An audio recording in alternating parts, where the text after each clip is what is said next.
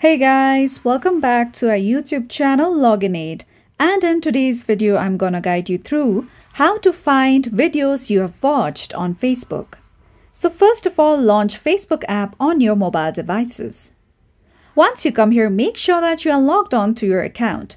Now at the top right corner beside the notification bell icon you can see your profile picture. Simply tap on it. With that you will be led to menu page. From here, scroll down below and tap on Settings and Privacy. From here, go ahead and tap on Settings on top.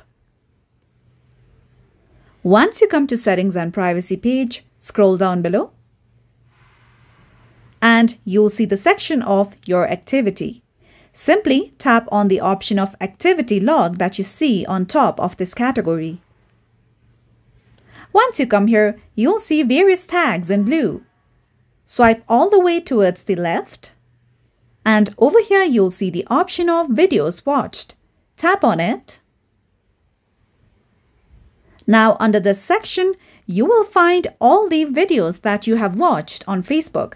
In my case, there are no such videos that I have watched. However, if there are certain videos that you have watched from your Facebook account, you will be able to find it over here. So that's all for today's video and at last, don't forget to subscribe to our YouTube channel.